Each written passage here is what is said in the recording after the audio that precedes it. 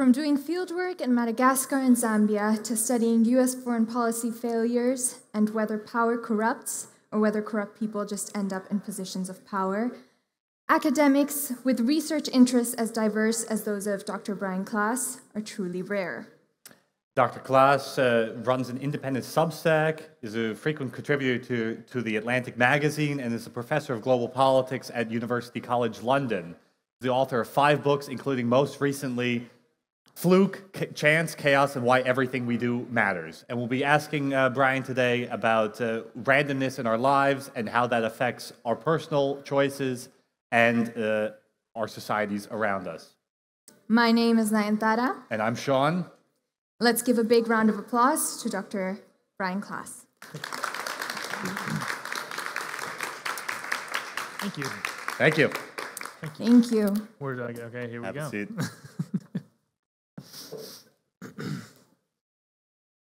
So, Kierkegaard once wrote that life can only be understood backwards but must be lived forwards. How can we best understand your life so far? There's a huge question to start with. Um, thank you very much for having me, and thank you for, for coming to the talk. Um, you know, I think there there's a series of flukes that I write about in my in my own work, and one of the biggest ones that's had a profound effect on me in understanding is a, a bit of a dark topic to start with. But uh, there's a story in the opening or the early stage of my book where I write about a woman named Clara Maudlin Jansen, and she was a, a woman in 1905 Wisconsin who had four young children and had a mental breakdown and uh, took the lives of her four kids and then took her own life. And the reason I'm telling you this is because this was my great grandfather's first wife, and uh, he came home and found this entire family dead. Now, I found this out when I was in my mid 20s, and my dad sat me down and showed me this newspaper clipping and so on. And so I had to have this realization not just that there's this dark chapter in my family history, but also that if these children had not been killed, uh, I wouldn't exist.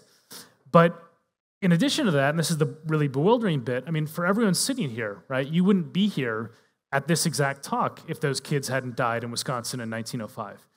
And so when I try to make a sense of a question like that, you know, how, is, how has my life unfolded?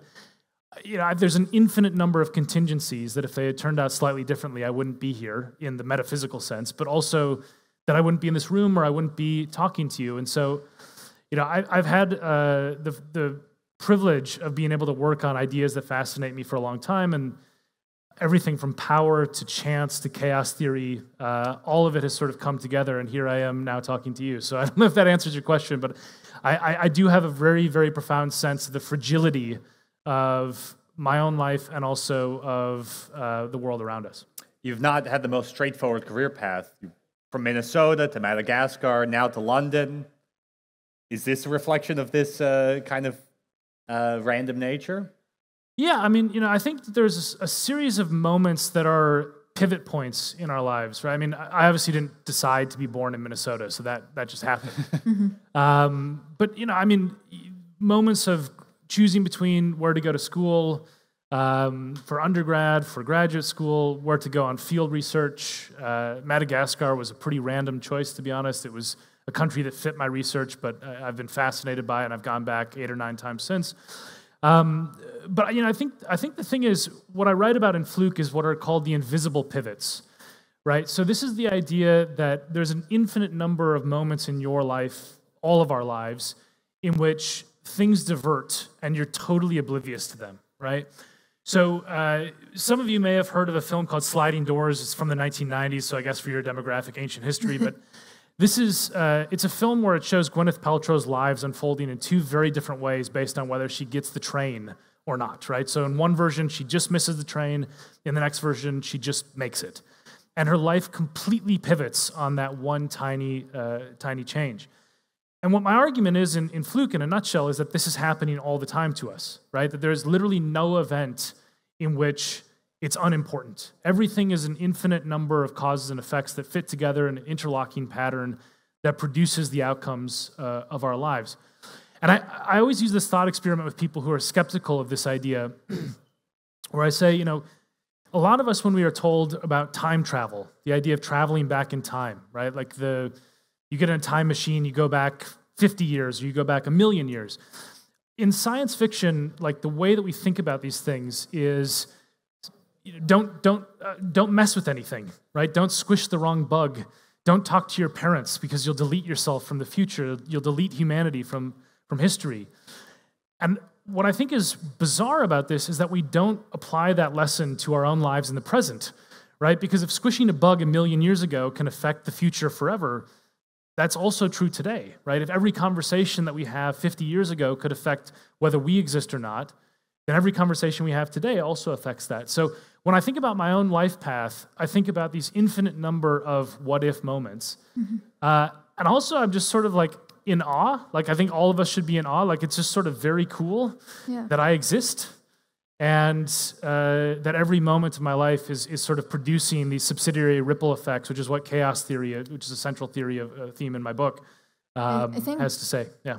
Yeah, I think we'll talk a little bit more about Fluke in a second, but I want to just take a minute to talk about the audience you've built across a range of platforms. Sure. So Sean earlier mentioned Substack. Um, you also write for The Atlantic. You've written several books. You're a professor at UCL.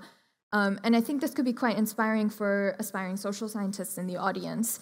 Um, were you always set on setting yourself up in such diverse areas like this, or is that something that developed along I, the way? I'm laughing because absolutely not. No. Uh, uh, no. I mean, all right. So I, I, like this question. I don't actually, I don't often get asked about this because normally you know, people interview me about uh, my specific work and not my pathway there. But I think this is an important point. So uh, I started writing about stuff when I was a grad student. And so occasionally I placed a few articles in newspapers or whatever that were more like, you know, popular focused. Um, but my media career, so I, I, I, haven't told this story, I don't know if I've ever told this story publicly, but my, my media career started when I was walking down a street in London and I was, uh, I, I, sent out a tweet. And I had, uh, I, am I'm not trying to talk about my social media profile too much, but like Follow I had on Twitter. Yeah, I had I, great Twitter. I, I, had like 1,500 followers on Twitter at the time. This is in 2016. I have like 250,000 now, so it's it's grown a lot. But at one of the 1,500 who was following me when I sent this tweet about Brexit of all things, which I didn't really care about that much, but I was tweeting about it. Um, she was a New York Times reporter, and what I tweeted fit perfectly with what she was about to write. And so she called me and said, Can I talk to you about this for a story? I was a postdoc at the London School of Economics in my late 20s. And uh, I said, Sure. So she interviewed me about it, and then the press office at my university picked up on the fact that I'd been quoted in the New York Times. And then Brexit happened like a week later. And I did like 15 TV interviews uh, on the day that Brexit happened. And then, like a week after that, I was like, you know, I really am not an expert on Brexit. um, you should talk to me about Donald Trump, who was also rising at the time, and I knew a lot about American politics. So I started doing TV interviews about Donald Trump and writing about him and so on. And you know, I look back at that and I think, you know, uh, there's another pivot point where I was writing an academic journal article, and it got rejected after six months of peer review on the same day that I wrote a piece for Foreign Policy about a terror attack that had happened in Tunisia. And there was this moment where I spent six months, get a rejection, nothing has gone well in the academic side. I wrote this uh, piece for foreign policy, and like 150,000 people read it. And I was like, yeah, I want to do more of that. And so I think these coincidences, right? These moments where like you send out a tweet or you, uh, you know, write an article and then you happen to get a rejection the same day. Like they're little diversions, and I think they're happening constantly. I, I didn't plan any of this. Were you yeah. cognizant of this fact before writing Fluke that these differences between contingency convergency in your life, or what was your worldview before starting this sort of reason? Yeah, I mean, I think like I think anyone is aware. Like when you think about ideas like chaos theory systematically, you end up applying them to your own life, your own life, and I think that all of us have an infinite number of these moments, right? We're, we're aware of a small number of them, but all of us are aware of a small number of them. Like all of you know, like, oh, the moment you decided to come to this university, or the moment you decided to end up with a partner or whatever, like those are really, really visible and obvious points. So I was completely aware of those. What I what I think I learned over, you know, and I'm I'm I'm not ancient, I'm in my late 30s, but like what I've learned in my career so far is that um, a whole bunch of random stuff happens and then you just re- react to it. And that's been true of my writing career, my media career, my professor, uh, my professorship, and so on, and my research. You know, a random idea is mentioned to me, and then I end up working on it for six months. Um, there's so many things where it just could have been slightly different, and everything would have turned out completely differently. And I, I, I think there's this notion that I, I often talk about students. Uh, I, I often talk about this with students. There's this notion when you look at someone who has had uh, any sort of professional success, publishing books or being on TV or whatever, and you think, oh, they set out to do exactly this. It couldn't be farther from the truth. I fell into a lot of these things. They were accidents. I got lucky. Uh, and you know, for students who are out there thinking about your next steps, like a lot of stuff is going to go wrong. Uh, hopefully, a lot of stuff will go right. But just respond to the accidents. Uh, that's that's the best advice I can give you because there is no script uh, for, for your life path that you are aware of, and trying to create one and follow it is very, very bad advice, I think. So I think we've already kind of set up what your main argument is in Fluke. Um, maybe you can. I'll ask you my next question, and then if there's any missing missing sure. pieces, you can fill those in for the audience. But um, the interesting thing about Fluke is you write about chaos theory, you write about how everything doesn't happen for a reason, how these contingencies set off big events. But you're also not the first to say this. So you actually write about David Hume's problem of induction. And um, Hume long ago questioned this idea that we can predict the future based on past events. Mm-hmm. So, why do you think that over time we've still we've stopped questioning these foundational assumptions that structure our social world? Yeah, great question. So uh, Hume's problem of induction is basically how can we know that the past past patterns will be indicative of the future, and I think this is extremely important for today's world um, because I think past patterns are least predictive of the future today compared to other moments in human history. So if you'll allow me to explain that idea, I'll then get to the second part of your question, which is mm-hmm. why we've discounted this. So, one of the things I write about in Fluke is how we have moved as, as a species from uh, uncertainty in the day to day life to uncertainty in the macro scale of how the world works, right? So, like in the past, in the hunter gatherer past of our species, you didn't know whether you would die when you woke up because you would starve to death or you'd get eaten by a predator or your crops would fail, right? There was uncertainty in the day to day life. But like your kids were going to do the exact same thing you were going to do. They were going to be hunter gatherers over and over and over for 9,000 generations. So the world didn't change very much, but the day to day was really uncertain. We've completely inverted that, right? So I have a line in Fluke where I say we've invented a world where Starbucks never changes, but rivers dry up and democracies collapse. And that's basically what I'm talking about is that the world, and AI is, is part of this, right? Where things are completely changing, uh, you know, year to year. Like the ChatGPT didn't exist a couple years ago. Now it's in, integral to a lot of systems we rely on and so on. So the point with Hume is that, okay, if we already had a problem in the, you know, hundreds of years ago when Hume was writing about how we understand the past as a guide for the future, the past is least predictive of the future now because the world is changing faster than it ever has before. Mm-hmm. So, why do we pretend otherwise, right? And I think it's because of what I call the illusion of control. And it's related to this idea that Starbucks is unchanging, right? Like we have this sense that we've mastered the world, that we can click a button and Amazon will deliver a package to us at exactly the right moment, or any Starbucks will give us exactly the same pastry. And it gives us this idea, this false sense that we mastered the world, and we haven't. Uh, it's, it's the hubris that I think is very dangerous. So I'm worried that this hubris, this illusion of control, means that we're more risk prone and more willing to sort of play with systems that we don't fully uh, understand. Are there certain narrative biases or psychological tendencies that explain this? Yeah, so this is also something I, I, have a chapter in Fluke where I also talk about this idea. There's the work of the um, a scholar named Jonathan Gottschall who talks about an idea called the storytelling animal, which is this notion that human brains have basically evolved to be pattern detection machines. Uh, in other words, we, we basically have a very simplified notion of cause and effect, and evolutionarily, that has helped us navigate much more simple systems. Which you know, in the in the past, if you saw a rustling in, in the grass, it was rational to run away because it might be a saber-toothed tiger. Now, mm-hmm. you know, when you think about trying to understand the complexity of the global economy, the storytelling animal isn't equipped for it because the, sto- the narrative bias, the sort of simple stories, don't fit onto these extremely complex systems. So, yeah, I think this is also part of it. I think that our brains are basically ill equipped to deal with the complexity of the world that we have created. And that is very dangerous because if you don't understand the limits of human understanding, you're going to play with fire in ways that are going to obviously blow up in your face. So, To what extent do we risk then creating a new pattern if we're seeing chaos everywhere?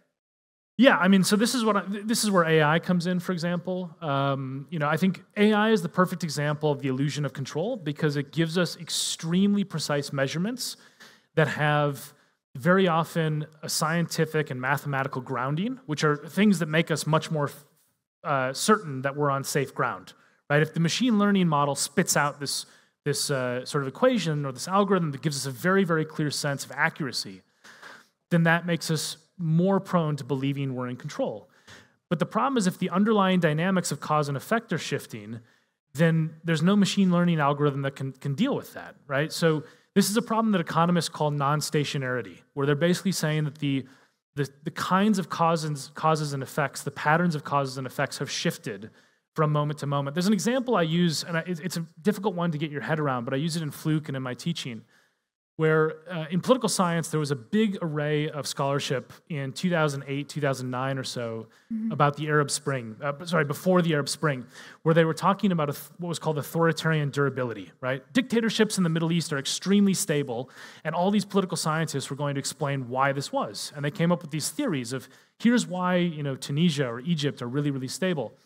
And then the arab spring happened and it obliterated these theories right? But the question is were the theories wrong, right? That's option A. Or did the world change? That's option B. Both of them would falsify the theories, but they had totally different ramifications for the, the, the lessons, right? In the first one, they were misunderstanding the causal dynamics.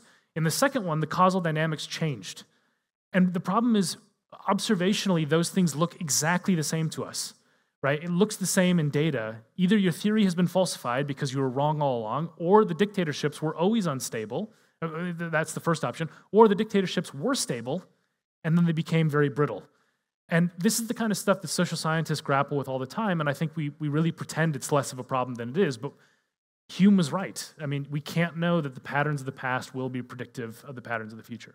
On these questions of systemic risks, you talk about, uh, you, you use this example of a sand pile, saying that we've built the sand pile way too high in a way that increases these risks. Can you explain this metaphor to our audience? Yeah, so this is I'm drawing from the world of physics for this, and it's a it's a model referred to as self-organized criticality, or mm-hmm. a subsidiary of it is called the sand pile model. It sounds very complex, but it's very easy to understand. If I take a grain of sand and I add it to a pile thousands and thousands of times until the grain of sand pile is very tall, eventually one additional grain of sand can cause an avalanche, right? It can cause a collapse. So, what caused the avalanche? Well, in one sense, the single grain of sand, but in another sense, every single grain of sand in the pile was necessary for the, for the avalanche to occur, right? So, the way I explain this in social systems is thinking about something like World War I, right? The onset of World War I. You build up the sand pile with alliances that create a really unstable environment such that the single assassination of an archduke in Sarajevo can trigger a war that kills millions of people, right? So you've built up the sand pile to a huge risk. In the modern world, we've done this even more, right? So, like the, the example I, I, have written about uh, for this is that in 2021, in 2021, a single gust of wind twisted a boat sideways in the Suez Canal. You may have remembered this Suez Canal getting blocked. It caused $54 billion in economic damage, right? And that the only reason that was possible is because the sand pile was so tall that a single extra grain of sand, in this case the boat, caused an avalanche which wiped out economic growth. So uh, this is the kind of stuff where I, am basically arguing for social systems that have lower sand piles such that any given grain of sand can't actually cause uh, an avalanche. Yeah, um, I think you touched on quite a few things that we also wanted to um, bring up in relation to some of your earlier work mm-hmm. already. Mm-hmm. Um, I think this idea of the the sand pile is is quite interesting because, as you mentioned, you, you talk about authoritarian durability and um, the the kind of uh, how we've wired our systems to be, you know, so high risk. It extends to democracy as well, and it extends to whether we can catch signals about authoritarian tendencies. Um, you published a book in 2021 called Corruptible. Maybe let's start with you explaining what the central question is that you study there. Yeah, so when you ask a question about power, the, the anytime you tell somebody that you study power, uh, the response at like a cocktail party or a dinner or whatever is always, "Oh yes, power corrupts. Absolute power corrupts absolutely." Like a lot of people know this quote uh, from this guy Lord Acton. So the question that I was asking in the book was, is it true that power corrupts, or is it true that corruptible people disproportionately seek power? Right, and those those are two very different versions. In the first version, a good person becomes powerful, and then power changes them and makes them bad. In the second version, bad people are more likely to seek power and get it, right? And the answer, spoiler alert for the book, is both. Uh, it's, it's definitely the case that power corrupts. So there's a lot of evidence I go through in the book that this is true. But I think it's a much bigger problem that corruptible people seek power. And so I basically describe it as sort of like an iceberg where the power corrupt aspect, power corrupts aspects of this are like the tip of the iceberg. It's the very visible bit. The invisible bit, which I think is more problematic, it's the stuff that sinks ships, is the much larger part of the iceberg, which is why do corruptible people so disproportionately want power, and mm-hmm. why are they so much better at getting it in the systems that we have designed? So that's what the book's really about. And it's, I think what's really interesting about Corruptible is how nuanced your analysis is. So, you. because you. are welcome, because you draw on fieldwork, I think you're able to find so many of these examples where you could falsify two different theories with two very different outcomes. Um, was this, would you say this was a key point? Because in Fluke, you call yourself a dis- disillusioned social scientist, which I think is a, it's a heavy word, um, heavy phrase.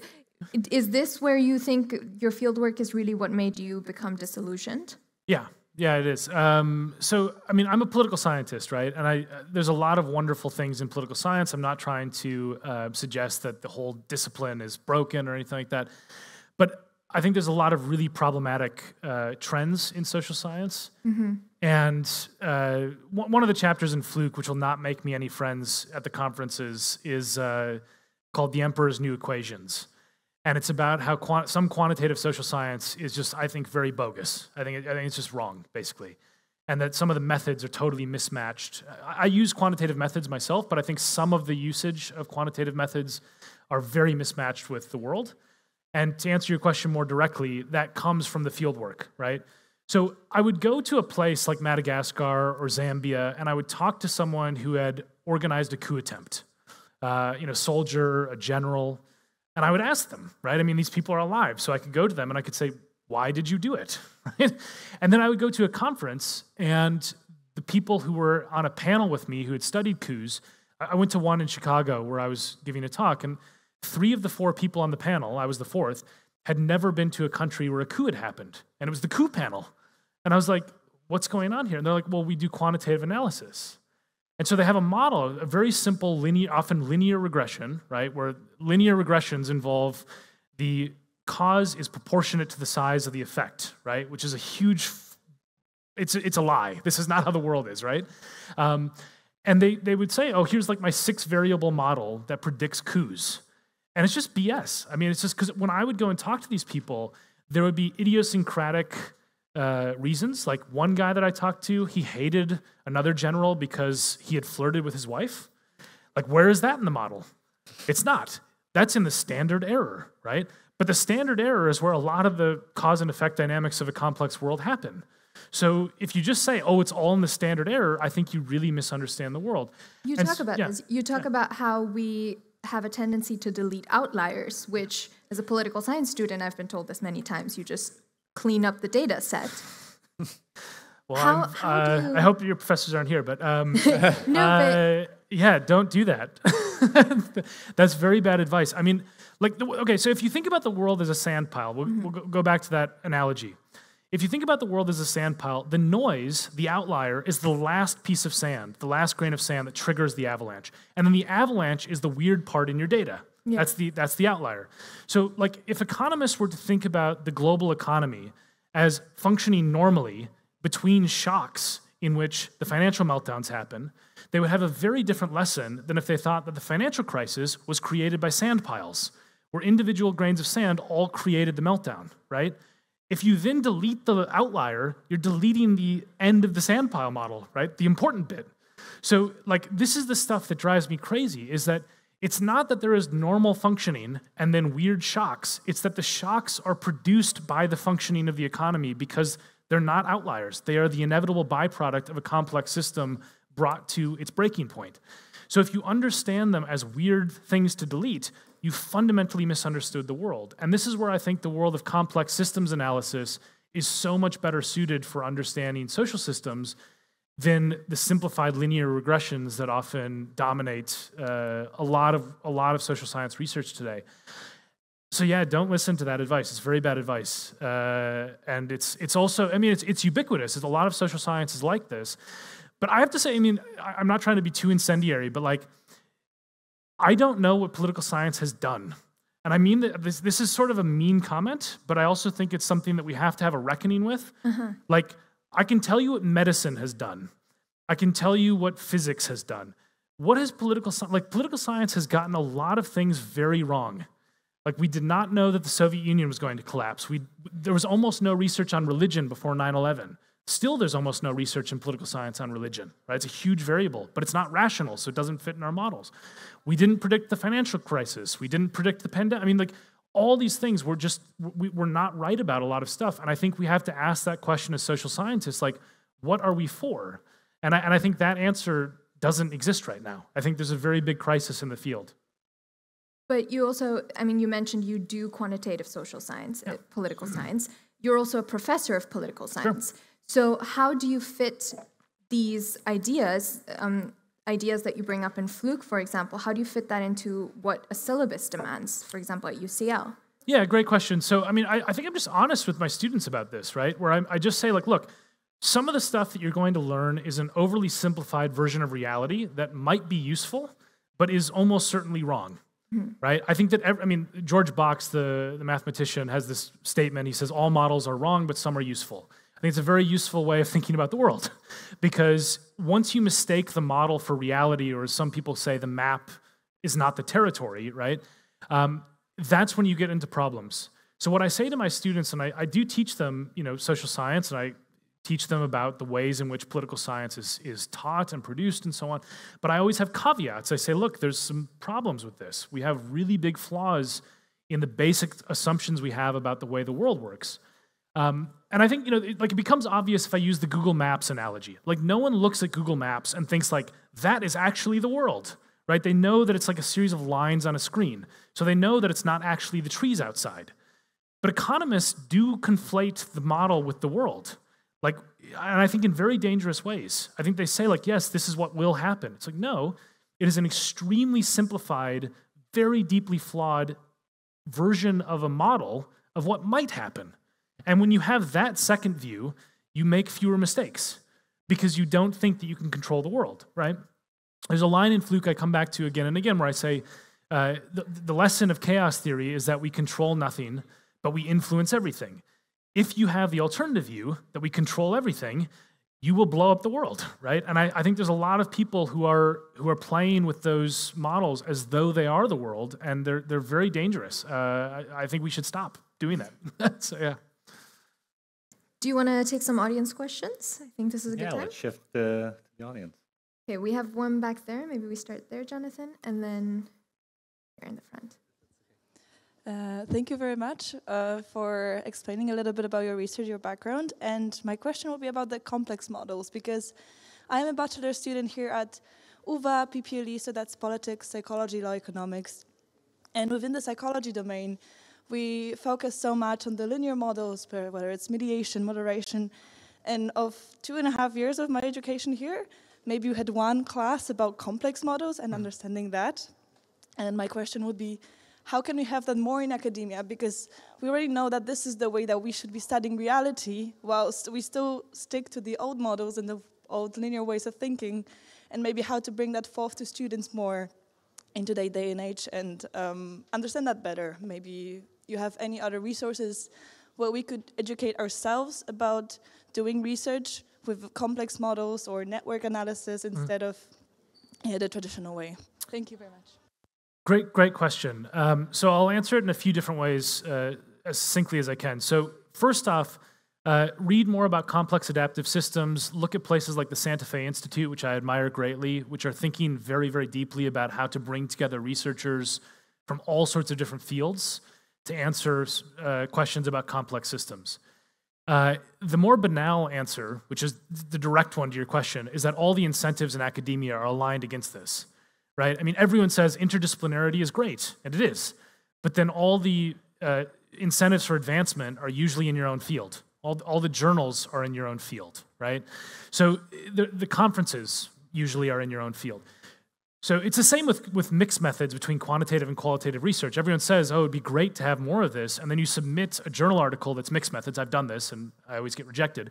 Um, and basically, what happens is like they send it out to one quantitative reviewer and one qualitative reviewer. And the qualitative person says, Why do you have 4,000 words of quantitative models in here? It should all be qualitative. And the quantitative reviewer says, Why are there stories in this? Right? And then they both reject it.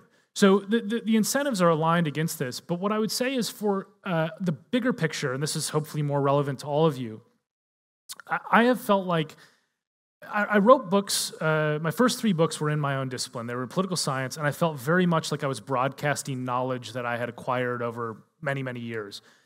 I had an intellectual uh, awakening, I would say, when I started reading outside my discipline. Mm-hmm. Uh, Fluke has loads of evolutionary biology, physics, neuroscience. Corruptible is full of psychology and, and a lot of evolutionary psychology as well. Um, it's so interesting. And so, you know, if you are feeling this way about being shoehorned into your discipline and the, dis- I mean, it sounds great. Like your your your actual degree sounds very interdisciplinary, which is great. Um, just read more. Like, you know, I, I didn't know anything about physics until a couple years ago, and like, I think we all should. Just like basic working knowledge of different disciplines. The disciplines are artificial con- constructs. Like human knowledge is trying to answer very similar questions about why things happen, and all the different disciplines approach it from different angles, but they're all, they all have something to add. So yeah, read read widely. I think it will be very rewarding for you. That's my advice. Perhaps another question from the audience. Here in the green sweater on the end.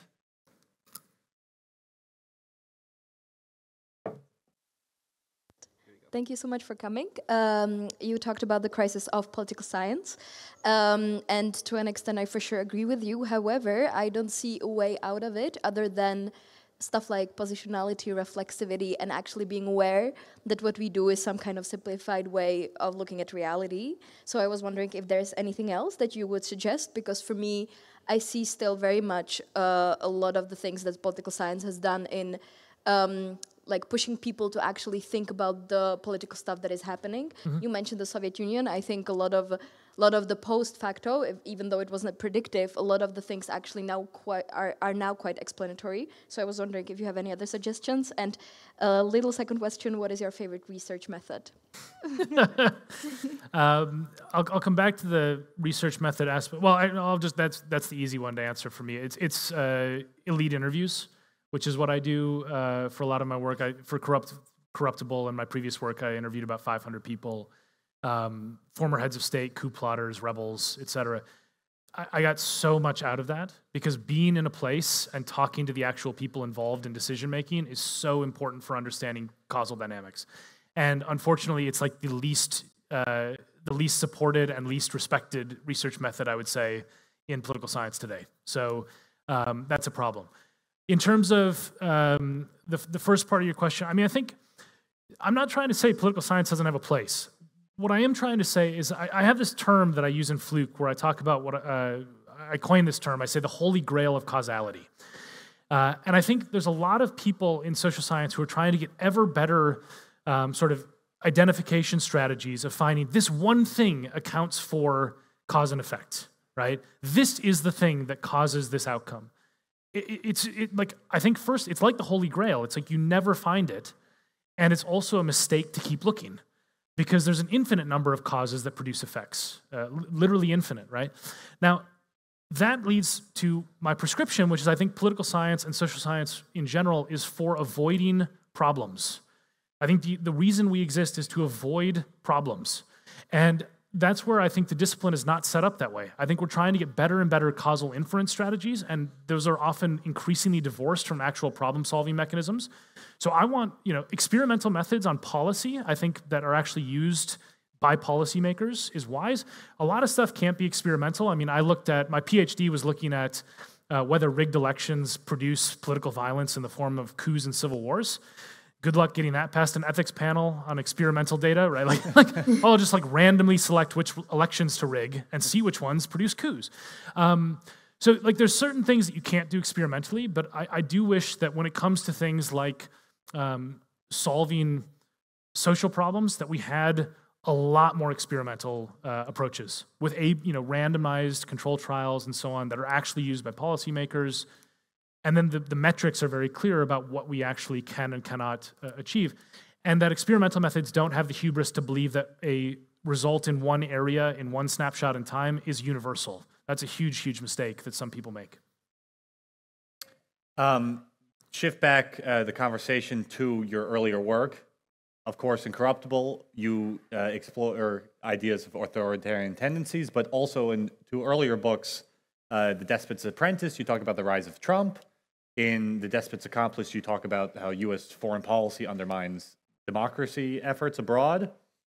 Can we understand phenomena that you mention here, like the 2014 coup in Thailand or the 2016 election of Trump, as a sort of a macro level example of how we've created systems that don't allow for a lot of wiggle room? Yeah. So, I mean, the way I think about change, I, I usually I'm good at coining terms, but I, I very badly coined this term. I think it's there's not a better way to say this in my view, but it's a clunky term. I think that the way that change happens is what I call contingent convergence. You I don't think that's clunky. Well, I think that's quite catchy. yeah, I don't know. I don't think it's the best one. But anyway, the, the point is that what I mean by that is that you have a mix of order and disorder, right? So contingent is like the arbitrary stuff. So there's one hypothesis, which may which may actually be true, but we're, we're not sure, that Trump decided to run for president in 2016 after Barack Obama told a joke that humiliated him at the White House Correspondents' Dinner in 2011.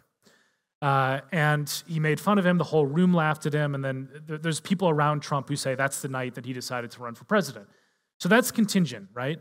But the thing is, like, the way that Trump emerged is part of convergence, which is say long term trends in American politics. Like, it, you can't make sense of Trumpism without the long term disillusionment around immigration in the United States or the backlash to the establishment, right? These sorts of things. So it's a combination of them, right? Maybe if the joke doesn't get told, Trump doesn't rise, but maybe there's still a, a populist strand in the Republican Party. I, mm-hmm. you know, I don't know. So I think whenever you think about these events, they're a combination of them. Uh, I think the mistake is to think that it's exclusively the trends. But like a lot of social science, because it's so bad at understanding the contingent part, side of the, the coin, they focus on the convergent side, which is the patterns. And this is where the quantitative data comes in, where the noise is written out, right? Like very clever people will come and tell you, forget about the noise, focus on the signal. I think it's terrible advice. I think so much of the, you know, what are sometimes called black swan events, they come out of the noise. You know, a joke can produce the rise of Trump. So this is the stuff where when I think about, you know, political change and the election coming up, for example, right, in 2024, this, this year's uh, election in the US, I have no idea who's going to win that election because, yes, there are trends. There are things that are happening in polarization in the US, public opinion. But a lot's going to change before now, between now and November. And that's really, really important. And the mistake of believing that the snapshot of polls right now is predictive of uh, November, you know, in terms of the vote count, you know, Hume would say, "Don't be an idiot." You know, um, so yeah, no, I, th- I, think this this contingent convergence way of seeing seeing the world, I think, is the most useful framework for it. How much does what you call the banality of crazy factor into something, particularly concerning Trump?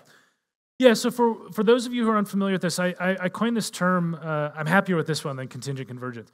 but you may have heard about the banality of evil. Uh, Hannah Arendt has this phrase about how you can explain mass atrocities and so on. I, I coined this term called the banality of crazy to explain media dynamics around Trump. And what I'm basically saying is that Trump's behavior is so beyond the pale in what's normal in American politics that it no longer produces headlines.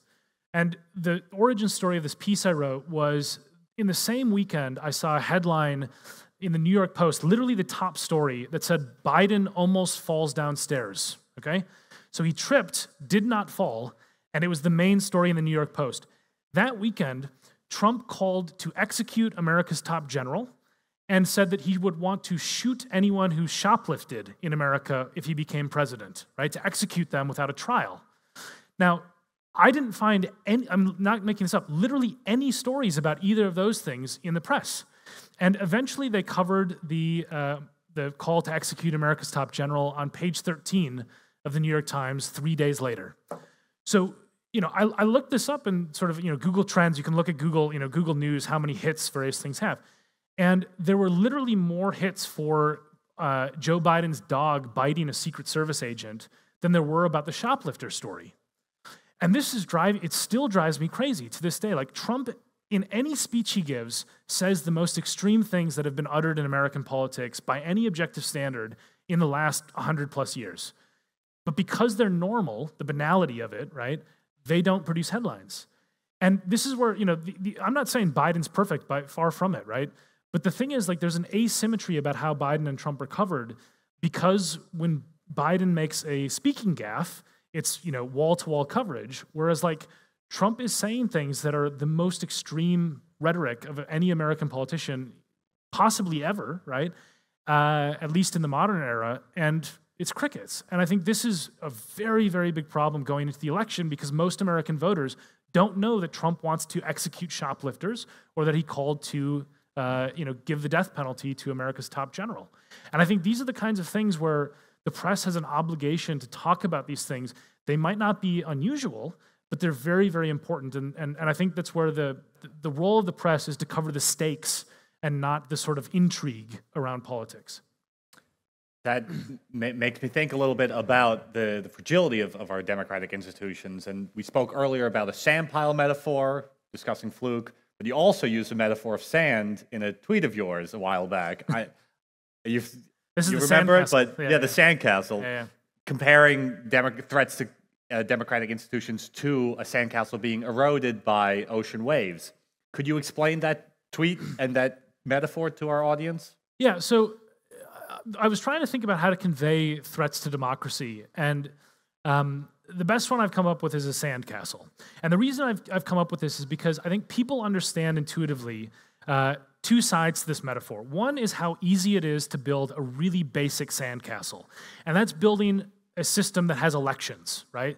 So these are not democracies; these are countries that just have elections, and any four-year-old with a, a, you know the right pail or whatever can make this very very basic sandcastle. To make those prize-winning sandcastles, the ones that are like 100 feet tall and have all these turrets that's consolidated democracy, and it takes a really, really long time to build. Now, the weak sandcastles can be eroded very, very quickly, and they are in a single day with one wave, which is a coup, a civil war, a revolution. So these really weak, fragile systems that are just elections and nothing else, they get wiped out very quickly. The consolidated democracies, you know, the Netherlands, for, for example, uh, this is the big prize winning sandcastle. And yes, you can have them erode over time if they're not repaired, if people aren't constantly working on them. But also, and this is the, where the metaphor comes in for what's called democratic backsliding. Uh, what I think is happening in most systems today is a wave comes in when the tide arrives and it takes a few grains of sand every day, right? This is how I think of the United States. There's been years upon years of the tide coming in and taking part of the sandcastle every single day. But no one notices it because it's 10 or 15 grains of sand at a time. Over 10 years, this is doing a lot of damage. And so the sandcastle is genuinely eroding. But because it's so gradual, a lot of people, especially those who are pro Trump, are not seeing the institutions fall apart.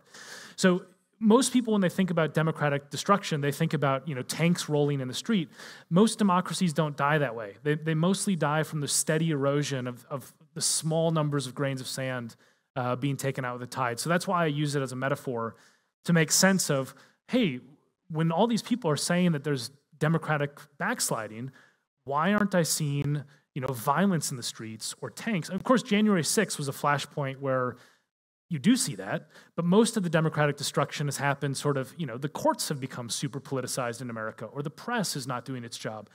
And these are gradual changes that are harder to detect uh, day to day. I think there's also an interesting example that's the slight reverse. So if you have, for example, a hybrid regime or an electoral autocracy that has been relatively stable over time, and many attribute that to economic growth. I, I, was having a conversation in class the other day about Bangladesh and Sheikh Hasina, and I think Chile is another interesting example where you had this idea for a long time that it was the economic oasis of Latin America. And people are surprised when you very suddenly have these uprisings against what is an authoritarian regime that has also brought some kind of prosperity. Do you think that our you know our maximizing efficiency mm. we we miss these important signals about how people really feel yeah, so I wouldn't use, first off, uh, it's always great to be uh, interviewed by students because you're much better informed than the people who interview me uh, in the press normally. So I don't normally get asked about electoral autocracies or Bangladesh and so on. Um, no, it's, it, but, but in, in, all seriousness, I mean, I think that there's a difference between what I just described as the sand, you know, the sandcastle of democracy and uh, genuinely authoritarian or authoritarian adjacent regimes where there's no way to sort of have the safety valve to reduce the pressure against the government. So, you know, in, in, in most uh, genuine democracies, the sandcastles that I'm talking about, there are ways for this to happen. So you, you, you do have buildups and you can have something like January 6th, but mostly you have the steady erosion. In more authoritarian systems, there's no way to protest the government in a safe way. I mean, in Russia, this is happening, right? Russia is not going to have a steady erosion of, of the system. Russia's going to blow up. Whenever it happens, it's gonna it's just gonna implode, uh, and it's going to be catastrophically bad. I, I think, um, and that's because there's no way to sort of release the pressure. Right? If you want to, if you hate Putin, there's nothing you can do about it because there's such huge risks to you know criticizing the government, having mass protests, etc. And some very brave people still do that, but like this is why the system will implode. So, whenever you're designing a system, you want slack in the system, you want some flexibility, and you also want a, a way for a sort of safety valve to redu- reduce the pressure. Authoritarian regimes don't do either of those things. They're absolutist systems, and they're also places where they build up and build up and build up the pressure until they blow up. And yeah. that's what the Arab Spring was. That's what uh, you know coups and civil wars often happen this way, and that's why the illusion of stability in authoritarian regimes is a myth, right? It's like, oh yes, it was all stable until it catastrophically blew up and the entire system destructed uh, was was you know self-destructed. And that's where I think you know we're headed for example in Russia eventually. I'm not sure when it will happen but I don't think it will be a small gradual change when that system breaks down. Wow. So would you say that our reliance on these simplistic indicators and these predictive models make us more prone to miss these important signals here yeah I mean I think look, the, the, the problem the problem with uh, a lot of the modeling isn't that we shouldn't do it, right? Like I, am not trying to say like oh let's just disband. You know, I don't want to get myself out of a job first off, but like I don't. like, let's not disband social science. It's that if you contextualize it appropriately with caveats and say these are simplified models and so on, you will make fewer mistakes. I think this idea that there's a single variable that we can tweak and control that will then produce this outcome is the kind of stuff that backfires so so catastrophically. Um, anyone who goes to a place or works within a system understands how unbelievably complex it is. Um, I worked in campaign politics before. Uh, I, I, co-managed a campaign for for the governor of Minnesota, and uh, I then went to graduate school and I studied American campaigns in grad school, right? And I was like, this is not what I experienced. And it's because, you know, people on the outside looking in are very different from people on the inside looking out.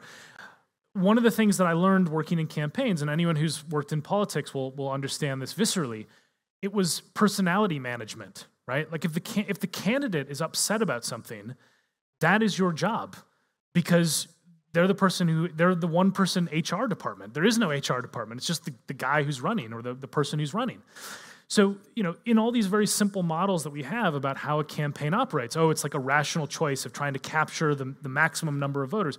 Sometimes it was just like the guy is in a bad mood. So we need to like cancel the event and like find a way to, for him to not be in a bad mood because the debate is tonight and he can't screw this up, right? And like there's no model that does this. It's just people are messy. And I think a lot of what social science is trying to do is to, to eliminate the messiness to create a pristine model for the world, which is just, in my view, uh, a, a very big funhouse mirror of understanding the reality. Now, if you if you present it as a funhouse mirror, it's not dangerous because you're like, look, this is a distorted version of reality. If you present it as reality, then politicians operate as though it is, and then you have huge mistakes that that blow up in our face. Is there any way that uh, policymaking or, or social sciences research can accommodate for this sort of seemingly random un- unpredictability? Yeah. So, I mean, this is something we're also, I, you know, I'm not going to make friends in political science saying this, but like, we don't influence policy very much. I mean, we just don't. Like, like politicians don't read journals. And a lot of the ideas that the journals produce are not relevant for politicians, right? I mean, we get these increasingly abstract game theoretic models of, of coalition formation and parliamentary democracies. I don't think a single parliamentarian is thinking about that or reading those articles when they're deciding how to make a coalition.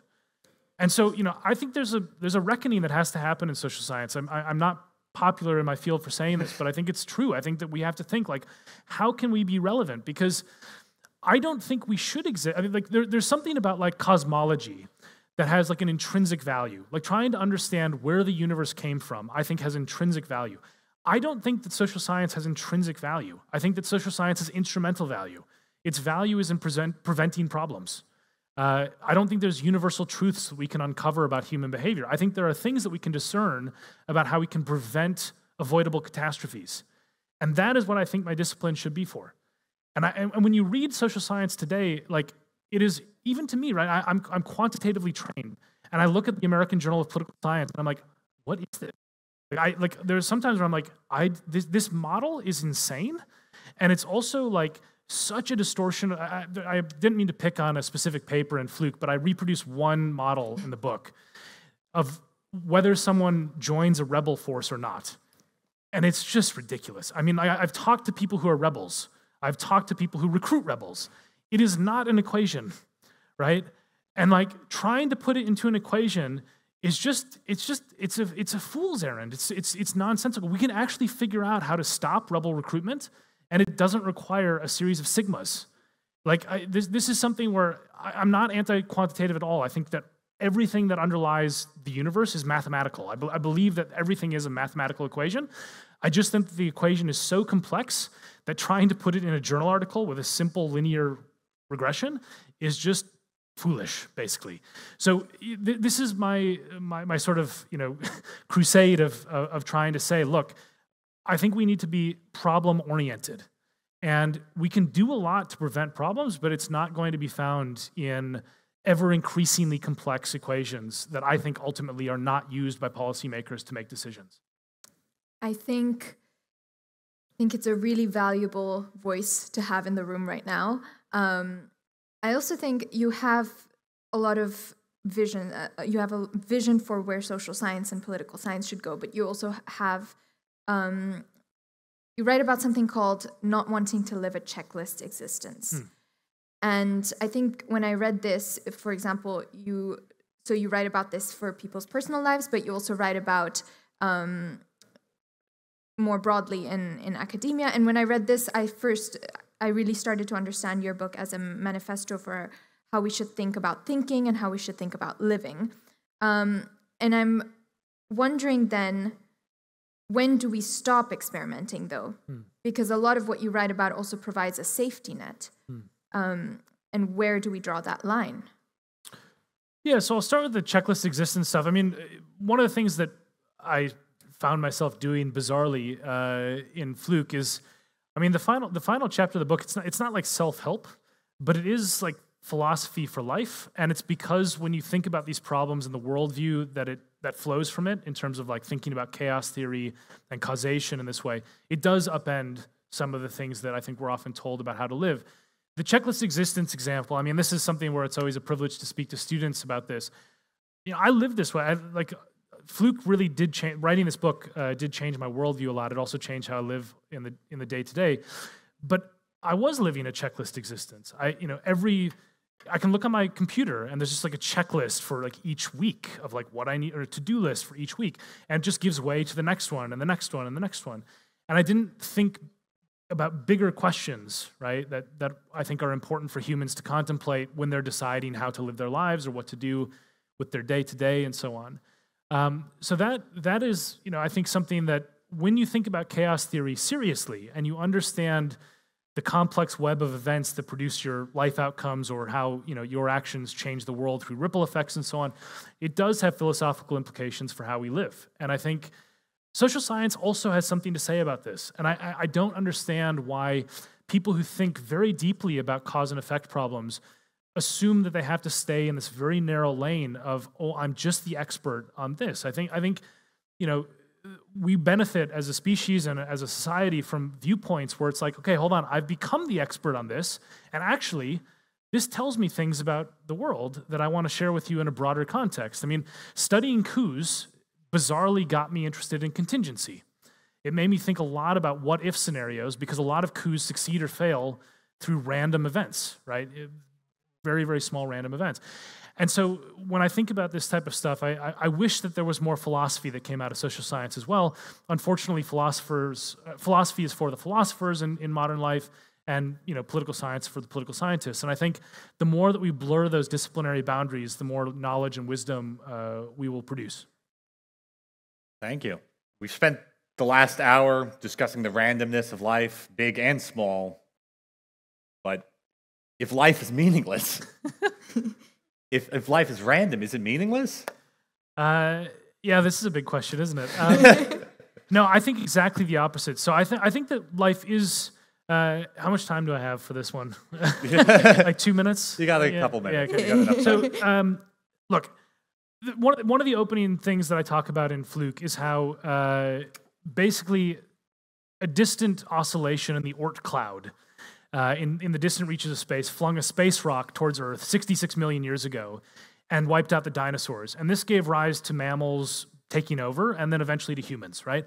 If that space rock had hit a second different, none of us would exist, right? If it had been a minute difference, there would be no, I mean, dinosaurs would not have died probably, or at least they would have died very differently. And when I think about that, I think about how arbitrary our existence is. That I don't think that I have a cosmic purpose, Right? I, I think I'm an accident, and, and I think that's fine. Um, but I think my life is, I find profound meaning in it, and I think everyone should find profound meaning in the arbitrary chaos of life. The third part of the subtitle of my book sounds like self help BS, right? The third part says why everything we do matters. I mean it as a scientific truth. I mean it literally. I don't think there's anything that we do that produces no effect. I think everything has a ripple effect that's unforeseen, right? You could plant a tree tomorrow, and in four generations, a kid might fall out of it and die. Now, that doesn't mean you shouldn't plant the tree. It just means that, like, everything is interconnected. And, like, the way that you came to exist is this infinite series of very complex arbitrary dynamics, including the Oort cloud oscillating 66, you know, producing the space rock 66 million years ago and so on. But I think that that's the most profoundly uplifting idea. I mean, how unbelievably lucky are we to exist? And also, uh, how profoundly exciting it is that everything that you do is reshaping the future. And that's what that's the that, that's the philosophy of chaos theory in a nutshell. It's that every single thing that you do will affect the outcomes of future people forever right? Because you're going to affect who, who survives, who lives, who dies. You're going to affect the way that societies unfold. Your lives are going to change uh, the trajectories of other people who are currently alive. You know, who knows who meets each other at this event, or whether I've slightly altered the neurons in your brain and you'll think about a problem differently in five years. I don't know.